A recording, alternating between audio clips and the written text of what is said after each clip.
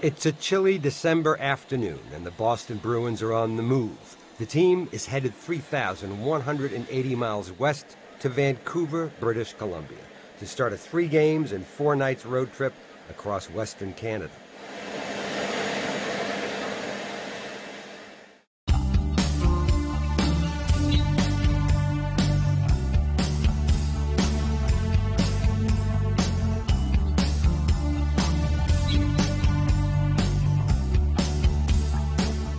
Tonight's game against the Canucks will be played at Rogers Arena, the same building where, in June 2011, the Bruins last won Lord Stanley's Cup. Assistant equipment manager Matty Falconer was with the team that night and takes a few moments to reminisce.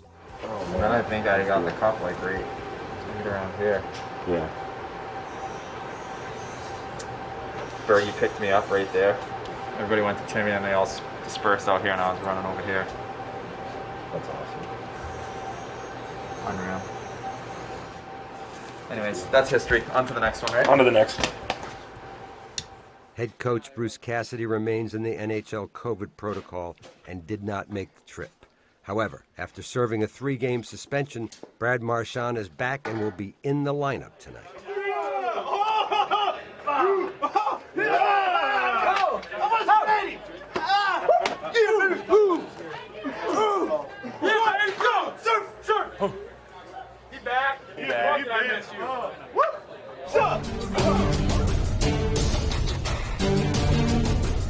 As the Bruins take the ice, one of their key players will be sixth year defenseman Brandon Carlo. Nice play, Fliggy. Ready to go to net, Halls, huh? 3 2, 3 2.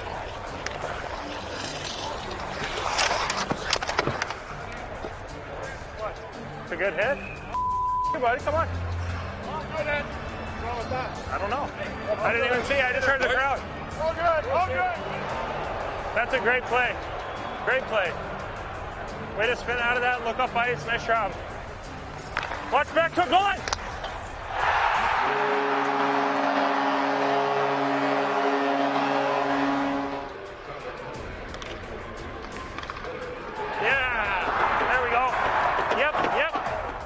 Bergeron's tip ties the game in the third period, but neither team can score again in regulation or overtime. So it moves to the shootout, where the Canucks win it.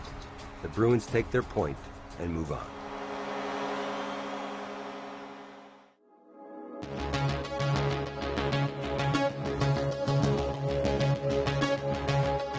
Less than 24 hours later, the Black and Gold are in Edmonton, Alberta to face the Oilers in Game 2 of their trip.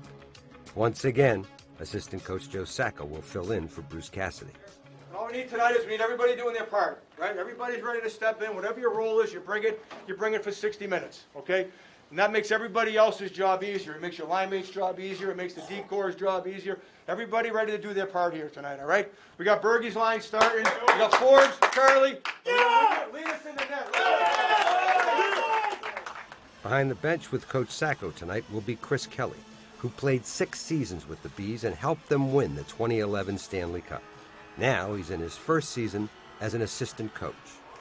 Maddie, Bob, you guys got me?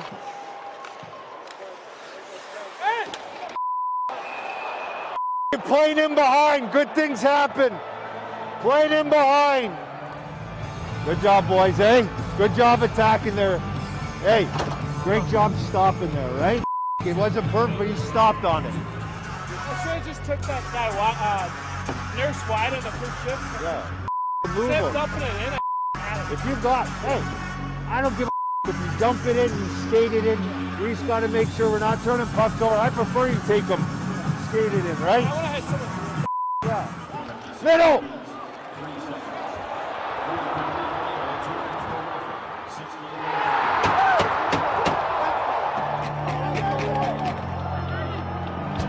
Couldn't have done enough any better myself, fellas. Good job. Jake DeBrusk gives Boston a 2 0 lead in the second, while Linus Ullmark stops everything the Oilers throw at him before the NHL's leading goal scorer, Leon Draisaitl, brings Edmonton back.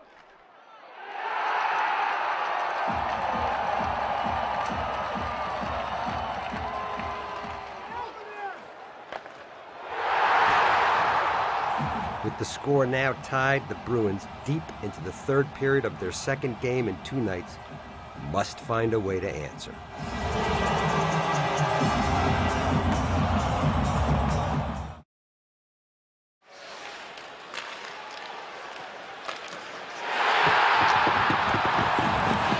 After being up by two goals, the Boston Bruins now find themselves tied with the Edmonton Oilers late in the third period.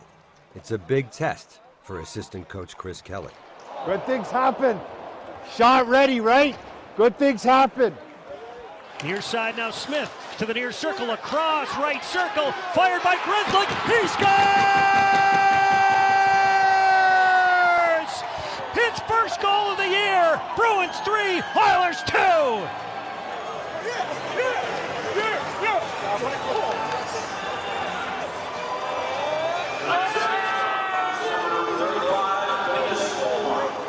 great job tonight, man. I'm gonna go.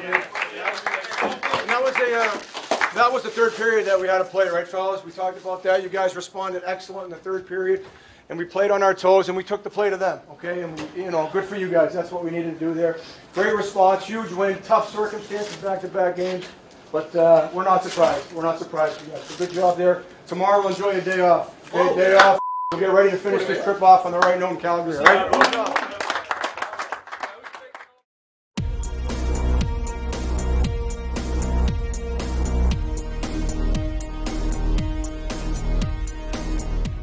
Third and final stop of this trip is the Saddledome in Calgary, Alberta, where Trent Frederic and the boys will take on the Flames in a Saturday night showdown.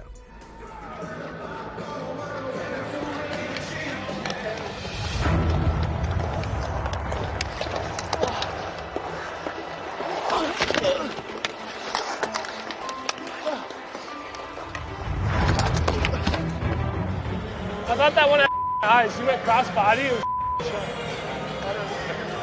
yeah, it was. You shoot that three times and go in once, you know? That's just coming in.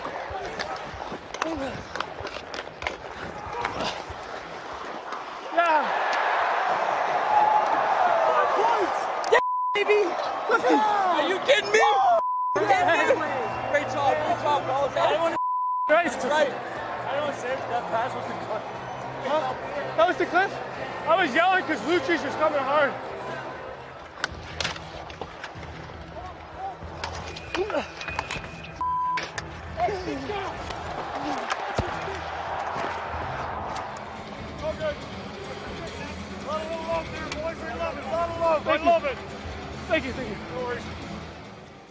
The Bruins make it 3 0 in the second before the Flames get one back.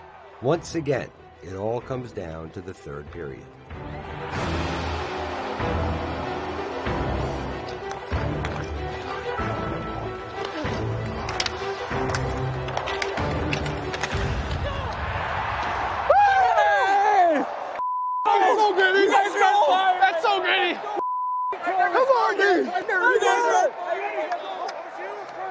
Uh, Curtis. Curtis.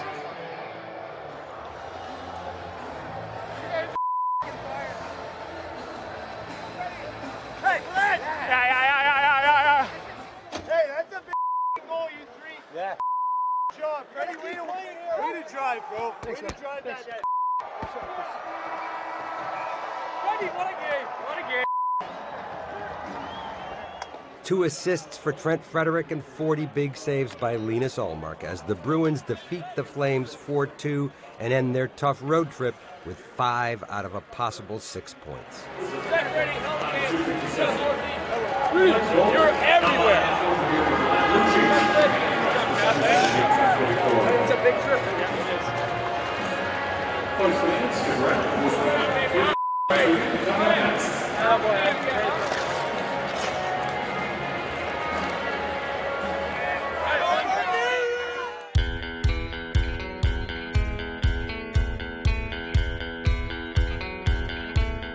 After traveling back to Boston and enjoying a day off, the Bruins start the new week at Warrior Ice Arena, where head coach Bruce Cassidy returns after two weeks in the NHL COVID protocol.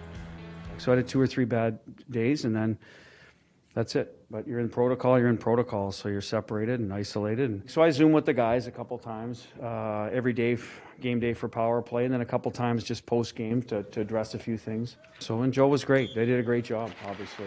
You know, and I think it was good for Joe to get back at it, to be honest with you. He'd been a head coach before, and hopefully that raises his profile. He did a good job. Uh, but I'm also looking forward to getting back at it.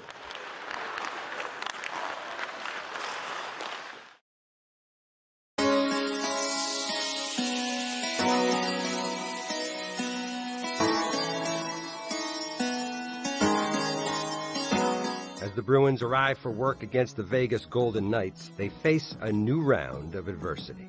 Craig Smith and then Brad Marchand have been placed in the NHL's COVID protocol.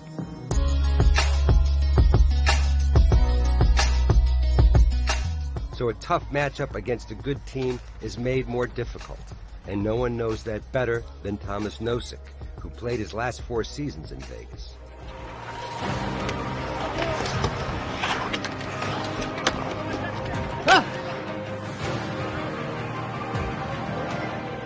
So one guy in front, one guy. Oh, I thought I'll face off. Yeah, Oh, face off. You come off the wall. Yeah, you come off the wall or or uh, around the world, whatever. Yeah.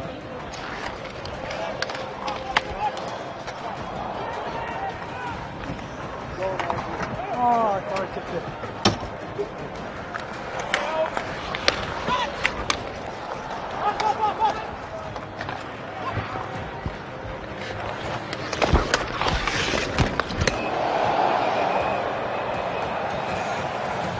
Jesus, Chinder. you good? Yeah.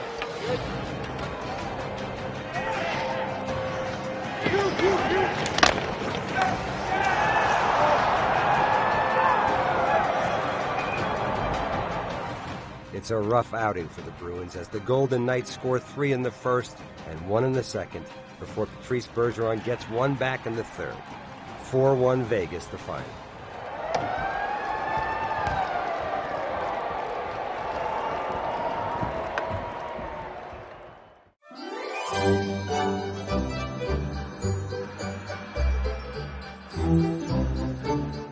A tough loss against Vegas, but the Bruins are doing their best to stay in the holiday spirit. So the team has set up a Christmas tree at Warrior Ice Arena and created personal ornaments for everyone to hang. Set it up high before you lower. Sure, guys. There we go. Nice. Prime real estate. There we are. Merry Christmas. Oh, that's kind of cute. Any of them? Oh, mine. Probably yours. Probably mine. Spot's missing one. Oh. Nice, nice. Wow. Look at that. Wow. Look at that. Look at that. Huh? Check this out. Alright, where's an open spot here? Beautiful. I feel like how do we do this? They are tricky when you got big old fat fingers. That's what I'm saying. That mean, work's been terrible. We put together, teamwork makes the dream work here. There you go. Oh my god, that's so much more easier than what I've been doing. Boing. Thanks, bud. No problem, brother. Let's do the same thing on that one. Tippy toes that one. Well,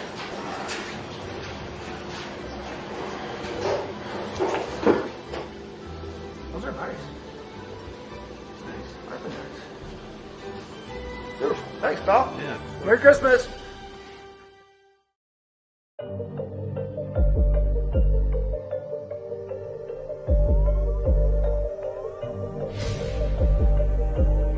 As the Bruins prepare for a three game road trip, they get more bad news. When team captain Patrice Bergeron becomes the third player added into the NHL COVID protocols.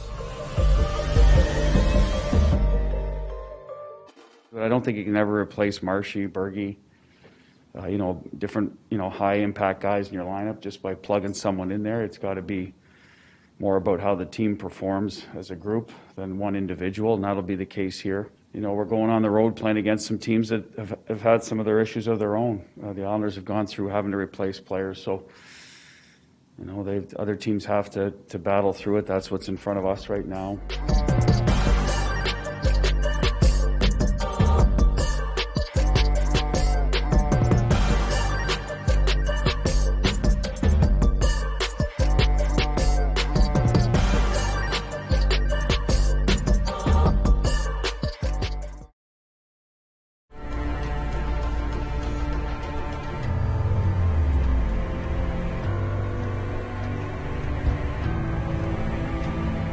As the Bruins arrive for their game against the Islanders, the coronavirus outbreak continues to impact the team.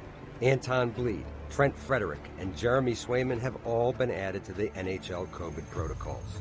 Then, prior to puck drop, Oskar Steen, called up from Providence to play tonight, is also sidelined. So the black and gold, already missing their captain and leading scorer among other key players, will only have 11 forwards available in this one. It also means that Kyle Keyser, who has never played in the NHL, will be the team's backup goaltender tonight. That's awesome. Unbelievable. Holy cow.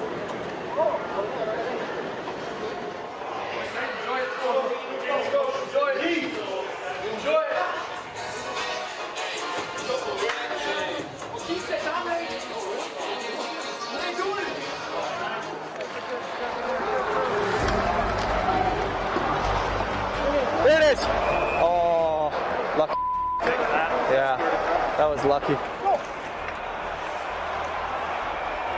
Ruth! Ruth! Oh! It's a way to go to the net. Oh, wait, Linus! I couldn't see. I think it did get deflected though. It, uh, it must have hit off a body. It said it had to have hit off a body because there were so many guys in front. Yeah, it's my glove at the end. Did it? Keep going, baby. Sorry.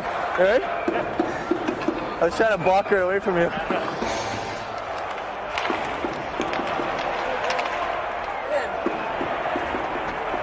That's it, man. That's it. Good shift there. Good shift. Good shift. Good shift, Pasta. Come on, boys. We're going to get one here. A frustrating night for the shorthanded Bruins out on Long Island as they put in a great effort and pour 41 shots on net, only to come away with a 3 1 loss.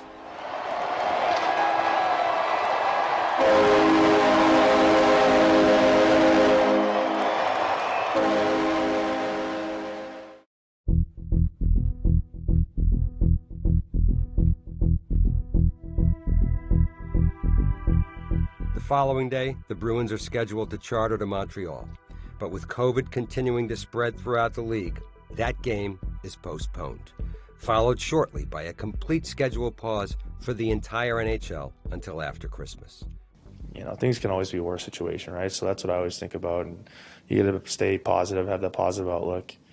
Um, but things can always be worse. So it's, it, know you got to do another test or two, and it's not ideal, but you got to do it, and you just got to follow the protocol and do what you can, um, and just do your part and try not to spread this thing even more, especially throughout your locker room, and your team.